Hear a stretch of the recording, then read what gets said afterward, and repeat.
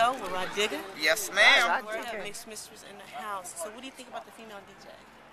Um, the female DJ is female DJ? super rocking. I mean, I'm just, I'm all for females doing it. I mean, hip hop is a culture. It's not a gender-based thing. So I, I feel that, you know, a female DJ could put it down just like a male DJ, and, and I'm all for it. I'm a female.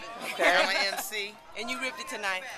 That's right. I do my best. I aim to please. You ripped it tonight. So how do you how do you suggest the DJ preserve the authenticity of hip hop? I think, um, well, I, I know with the, you know, with the invention of Serato, I, I guess, uh, you know, anybody could be a DJ now, but I, I think, you know, for the most part, there there are there are DJ purists like my DJ.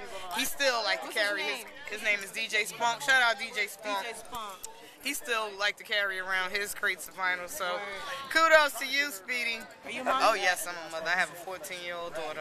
She Wow. off the chains. off the chain. Girl, what's her name? Sativa. Hey, Sativa. Uh-oh, Sativa. Uh, look, that's but she keeps me grounded. I mean, she definitely keeps me inspired to do music. You've been in the game for a minute, Ron, and um, how have you seen music change over the years? You know, I was just having this conversation with somebody. He's like, damn, you know, been back in the day when when uh, KRS beat up PM Dawn, or it, like, I wish we could go back to the days of just mashing out the corner, That shit is just of just bum rushing the, the, the whack rappers off the stage.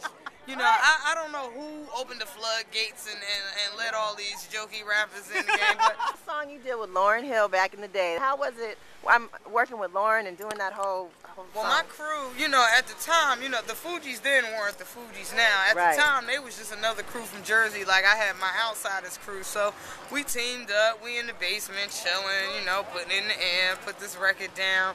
Next thing you know, it just ended up on the album, and and then lo and behold, you know, 24, 25 million albums worldwide sold. It was like, damn. Tell us about your album that you have right now, your CD. Classic, produced by Nottz. He's a Virginia-based producer, and he did about five or six joints off the Dirty Harriet album. So our chemistry is, is always like on point. Do it, but I got to shout out to A and R for that project, Lucas Zimmer, because he's the one that like was like, yo, you got to do a whole album with Nottz, and all the records got to be hard. Fuck a radio record, fuck all that shit. You are the queen of straight spitting, and Yeah, that's what you gonna do. And that's that's what I did. You know, I don't knock anybody's hustle, but you know, somebody gotta sell sex, somebody gotta sell looks, somebody gotta rock hard. it is I. It was written. All right. Can I Thank get you. that CD, homie? Oh, no doubt, that shit. no doubt, no doubt. We see, we gotta go get the CD. All we right. gotta go make the transaction. Back, back, back, back it up. Crazy, we be acting up. All the way to VMX, you out like a spatula. Too thick, ever in your life, get too slick. Finding out the hard way, exactly who you cool with.